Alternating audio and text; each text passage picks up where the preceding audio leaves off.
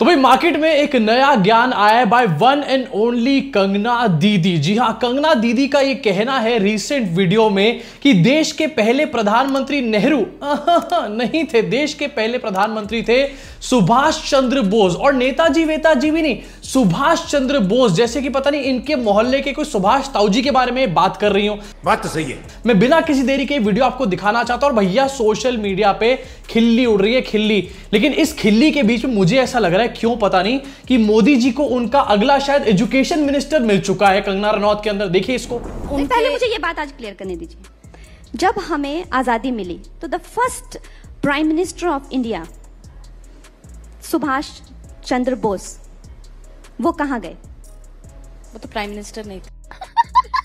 मतलब जब आप किसी कचरे के सामने ऐसा कचरा फेंको अपने दिमाग का कि वो भी चकित हो जाए कि भाई ये क्या बोल रही हो दीदी? मतलब सामने बैठी हुई नविका कुमार भी कह रही हैं कि वो तो पहले प्राइम मिनिस्टर थे ही नहीं। मतलब नविका कुमार भी कंगना रनौत को आईना दिखा रही है। कितने बुरे दिन आ गए हैं। वैसे कंगना रनौत जो है शायद कुछ कंफ्यूजन में पड़ चुकी है। शायद इस फ़ोटो को देखकर वो नरेंद्र मोदी को सुभाष चंद्र बोस समझ के बैठ चुकी है और इन्हीं को ही शायद देश का पहला प्रधानमंत्री मान रही है। भाई कंगना रनौत के आईक्यू लेवल को देखने के बाद, इस डमनेस को देखने के बाद मुझे अनन्या पांडे भी बहुत ज़्यादा स्मार्ट आइंस्टाइन की बच्ची लग रही है। इनफैक्ट निर्मला ताई, जो किसी बात का कोई सेंस नहीं बना पाती वो भी इनके सामने मुझे हंड्रेड टाइम सेंसिबल लग रही है सेंसिबल प्रो मैक्स लेकिन कंगना दीदी सिर्फ़ यही पर नहीं रुकती आने वाले टाइम में मोदी कैबिनेट की होने वाली एजुकेशन मिनिस्टर आगे ये भी कहती हैं कि सरदार वल्लभ भाई पटेल जो है वो प्रधानमंत्री इसलिए नहीं बने क्योंकि वो जो है उनको इंग्लिश बोलनी नहीं आती थी। जरा सुनिए भैया मतलब मैं क्या बोलूँ? खट्टी खट्टी डकारे आ रही है इनकी बातें सुन सुन के। तो सरदार पटेल क्यों नहीं हमारे प्राइम मिनिस्टर बने? वो भी क्योंकि उनको इंग्लिश नहीं आती थी। This is quote unquote Sardar is a better leader but he is not good with English Mohandas Karamchand Gandhi quote unquote ये तो मतलब नविका कुमार भी सोच रही है, चुप हो जा बहन, चुप हो जा, और कितनी किरकिरी कराएगी हमारे मोदी जी की। और दीदी को मैं कहना चाहता हूँ कि सरदार वल्लभ भाई पटेल क्यों नहीं बने? क्योंकि उनको इंग्लिश नहीं आती थी। जरा आपकी स्क्रीन पर लाइव फैक्ट चेक करना चाहता हूँ कंगना दीदी का। अपने स्क्रीन पर देखिए। सरदार वल्लभ भाई पटेल जो थे, उनको इंग्लिश बोलनी नहीं आती थी। लेकिन पढ़ लीजिए, अपने स्क्रीन पर लिखा हुआ he went to pursue a degree in law and travel to England in 1910 1910 में सरदार वल्लभ भाई पटेल तीन साल के लिए इंग्लैंड पढ़ाई करने गए थे। जब उनको इंग्लिश नहीं आती थी तो वहाँ पर क्या गुजराती में पढ़ाई करने का काम कर रहे थे?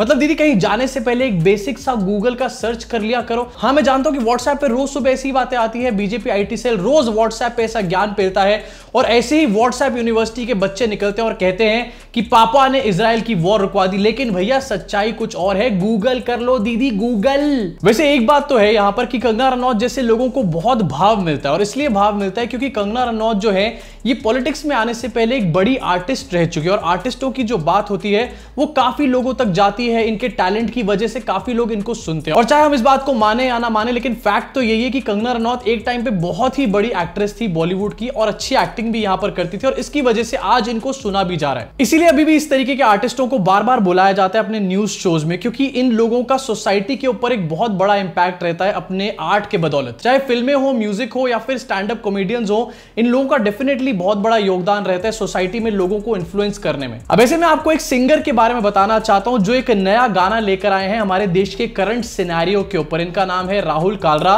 और राहुल कालरा ने एक सॉन्ग बनाया हमारे देश के करंट सिस्टम के ऊपर किस तरीके से खोखला हो चुका है। गाना बड़ा मज़ेदार है, सुनो इसको। पत्ती जब तक पाँच सौ की नहीं मिलती, रिश्वत खोरों की तशरीफ़ नहीं हिलती, फ़ाइल नहीं सरकती को डील नहीं होती। दुनिया रुक जाती, इकोनॉमी थक जाती, जो इन सालों से सड़क बन पाती तो काहे फ़ोटो की ज़रूरत पड़ती? ऐथे बंदा बंदा चोर, ऐथे बंदा बंदा चोर, क्योंकि दिल मांगे मोर, बांदर औडी ते, लोग कौडी कौडी ते, कुत्ते लाल बत्ती ते, अस्सी तुसी चौवन्नी दे। मैं क्या चवानी तो बंदरी सी होगी तो भाई राहुल कालरा ने यहाँ पर काफ़ी मस्त सा गाना बनाया है। इनफैक्ट काफ़ी इन्होंने यहाँ पर सटायर भी यूज़ किया अपने गाने में। मतलब उसी तरीके से हमारे सिस्टम के दोगलेपन को सामने रखा है जिस तरीके से हम यहाँ पर अपनी वीडियोस में रखने का काम करते हैं। नमस्कार दोस्तों मैं राहुल कालरा। मैंने गाना बनाया है भारत के भ्रष्टाचारी और उसके बारे में आपसे बात करना चाहता हूँ। यहाँ इंसानों की भीड़ में इंसानियत ढूंढना कभी कभी मुश्किल हो जाता है। This is the matter of common sense but common sense इतनी कॉमन होती नहीं है। हम बात करते हैं कि भ्रष्टाचार नहीं होना चाहिए। पर भ्रष्टाचार अगर हमारे अंदर है तो ही हमारे समाज क्योंकि पेड़, पौधे, कुत्ते, बिल्ली, जानवर तो भ्रष्टाचार कर नहीं रहे, हम ही कर रहे हैं। ये बात तब की है, मैं ढाई साल पहले बॉम्बे में रहता था। मेरा अभी भी वहाँ पर छोटा सा घर है। तो अब जैसा मैंने शुरुआत में बताया था कि आर्टिस्टों का बहुत बड़ा इम्पैक्ट पड़ता है पूरी सोसाइटी के ऊपर वोटर्स को इन्फ्लुएंस करने के ऊपर। तो ऐसे में मैं तो सिर्फ़ यही चाहूँगा कि यार ऐसे आर्टिस्टों को और ज़्यादा बढ़ावा मिले, इसलिए नीचे डिस्क्रिप्शन में इनके चैनल का, इनके गाने का लिंक है। जाकर सुनना ज़रूर और अगर पसंद आए तो चैनल को इनके सब्सक्राइब भी कर ज़रूर आना। इसी के साथ आगे बढ़ना चाहूँगा और बात करना चाहूँगा स्मृति ईरानी के बारे में। स्मृति ईरानी जो अमेठी से इलेक्शन लड़ रही हैं और सुबह दिन रात अमेठी अमेठी करती रहती हैं, वो अब वायनाड भी पहुँच चुकी हैं। जी हाँ मतलब कोई काम नहीं था अमेठी में, अब वायनाड भी पहुँच चुके हैं। वायनाड में जो बीजेपी का वहाँ प्रत्याशी है, उसके लिए रोड शोज़ करे जा रहे हैं। ये दिखाया जा रहा है कि राहुल गांधी को मैंने अमेठी से तो भगा दिया, लेकिन अब वायनाड से भी भगा दूँगी, लेकिन सच्चाई में हुआ क्या? पनौतियाँ लग गई पनौतियाँ पूरी तरीके से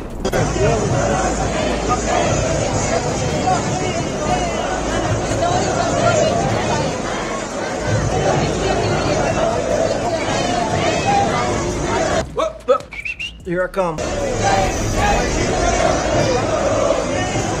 इस रोड शो में दिखाने की कोशिश करी गई थी कि स्मृति ईरानी वायनाड में भी बहुत जलवा मचा रही हैं। एकदम वायनाड में भी बवाल ला करके रख दिया, लेकिन सामने से दिखाई दे रहा है। भैया, कैमरामैन से बोलो कि एंगल चेंज करके वीडियो रिकॉर्ड करे। सामने की सड़क पूरी तरीके से खाली आपके स्क्रीन पर इस टाइम पर फिर से चल भी रही होगी। अरे, खाली सड़कों के ऊपर कौन सा रोड शो करने की आदत है भाई? भाई ऐसा अगर खाली सड़कों के ऊपर रोड शो करना है तो एक्सप्रेस के ऊपर निकल जाओ ना। वो भी पूरी तरीके से खाली रहता है। वैसे शायद ये भी हमारे मोदी जी से इंस्पायर्ड है, जो कि खाली टनल के अंदर लोगों को वेव ऑफ़ करते करते हैं या फिर ब्रिज से सी को देख करके वेव ऑफ़ करते हैं। जहाँ पर कोई भी नहीं खड़ा होता, उसको भी देखकर वेव ऑफ़ करते हैं। मतलब चीचा स्कूल ऑफ़ एक्टिंग से तगड़े तगड़े स्टूडेंट बन करके निकल रहे हैं यहाँ पे। इसी के साथ आगे बढ़ना चाहूँगा और बात करना चाहूँगा। रिसेंटली हमने देखा कि बॉक्सर विजेंद्र सिंह, इन्होंने कांग्रेस छोड़कर बीजेपी में शामिल हो गए।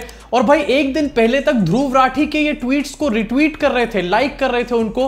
अगले दिन बीजेपी में जाकर के शामिल हो गए। उसके बाद हमने देखा कि कांग्रेस के काफ़ी बड़े प्रवक्ता, जिन्होंने संबित पात्रा का ट्रिलियन के चक्कर में करियर बर्बाद करके रख दिया था, वो भी कल कांग्रेस से उठ करके बीजेपी में चले गए। इन्होंने कहा कि मेरे रिलीजियस सेंटिमेंट्स हर्ट हो रहे थे कांग्रेस के अंदर, और मैं काफ़ी चीज़ों से अग्री नहीं करता था, फलाना डिमकाना ब्ला ब्ला ब्ला लेकिन इसमें सबसे ज़्यादा मज़ेदार मुझे लगा विजेंद्र सिंह का यहाँ पर बहाना। मैं सो करके उठा और मेरी एकदम से आत्मा जाग गई इसलिए मैं बीजेपी में चला गया। वो कहते फिर मैं सो गया उसके बाद। फिर मैं एकदम उठा तो मेरे को लगा कि नहीं यार आप गलत कर रहे हैं आप गलत प्लेटफॉर्म पे हो तो आप भारतीय जनता पार्टी में आइए और यहाँ से आप कहते हैं आप सही दिशा में जाएँगे इसलिए फिर मैं मैं भारतीय जनता पार्टी में आया। इसको देखने के बाद मोदी जी ने इनको बीजेपी ज्वाइन कराने के बाद फ़ोन किया होगा कि विजेंद्र भैया आज रात को मत सोना नहीं तो कल सुबह तुम ऐसे ही कांग्रेस में ना चले जाओ कहीं। और भाई ये कैसा सा बहाना है कि मतलब मैं आज रात को सोया और सोने के बाद जब मैं उठा तो मुझे लगा कि मैं गलत लोगों के साथ हूँ मुझे सही जगह पे जाना चाहिए। ये भाई बहाना तो सोच समझ के बोल लिया कर भाई। मोटी बुद्धि का इंसान है क्या? किसी पे भी ट्रस्ट नहीं किया जा सकता इस टाइम कोई भी आदमी कहीं पर भी उठ के चला जा रहा है, इसलिए कहते हैं